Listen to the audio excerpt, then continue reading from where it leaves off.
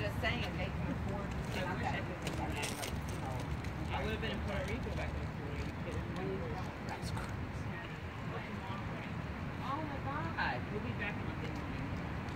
It was the last Uh, year. you know That's what? so It's crazy. funny.